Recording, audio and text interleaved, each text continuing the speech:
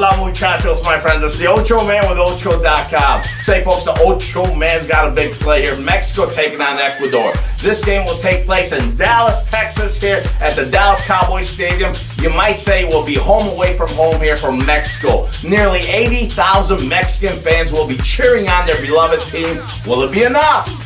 Mexico has had a soft schedule in their last five games. They've won three and tied two. The two that they tied, Nigeria and USA. Two pretty good teams here, my friends, and they're averaging three goals per game. That's a lot of goals. Now, on the other hand, you got Ecuador.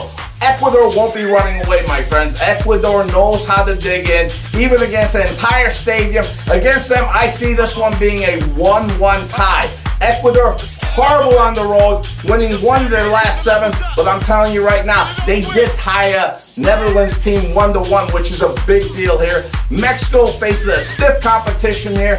Mexico has to dig in against a good team. I'm seeing this one as a 1 1 tie. I'm seeing the under on the two and a half. And that's what I got on this one, my friends. Go to our site at Ocho.com, make it happen. Ocho Man is out of here.